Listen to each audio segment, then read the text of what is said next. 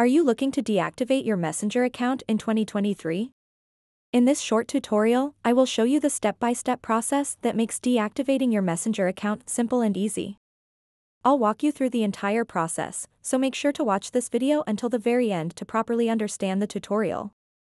To get started, open up the Facebook mobile application and then tap on the menu button at the bottom right corner of the screen. Once you are on the menu page, tap on Settings and Privacy and then select Settings.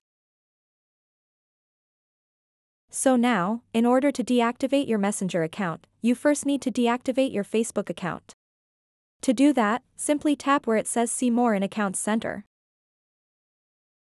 After that, tap where it says Personal Details. And then tap where it says Account Ownership and Control. And then tap where it says Deactivation or Deletion and then tap and select your Facebook account. After that, tap Deactivate Account, and then tap Continue. And then enter your Facebook password to continue. Once you've entered your Facebook password, tap Continue. And then select a reason for why you are deactivating your Facebook account and then tap Continue. And then tap Continue, Go through that process, and you'll get the option to deactivate your Facebook account.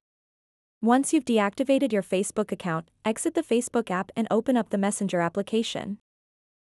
And then tap on these three lines at the top left corner of the screen. And then tap on the gear icon. Once you are on the settings page of Messenger, scroll down to the bottom and tap where it says, See More in Accounts Center. And then tap Personal Details.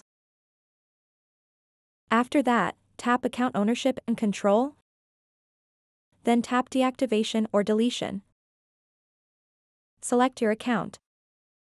Select Deactivate Account, tap Continue, and then simply go through the deactivation process. So that wraps up this tutorial. If you have any questions about this whole process, please let me know in the comments section below. And if this video helped you out, please give it a big thumbs up and subscribe to this channel for more tutorial videos like this one. Thank you so much for watching and have a good day.